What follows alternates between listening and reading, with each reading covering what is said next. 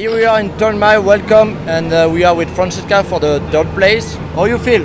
Good. I'm very happy for this one, this uh, third place. Yeah. It's been a hard weekend to try to to get better and better, but today I did it and I finished the season, so I'm happy and I did a good run, so happy.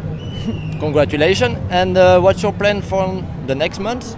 Um, this winter we have the um, championship of the Trophy Eyes at the Cowboy Guest Ranch, so I'll be riding other horses there, the young one, and try to start the new ones for the next season. So now the season is finished. That's wonderful. Congratulations again. Thank See you. you.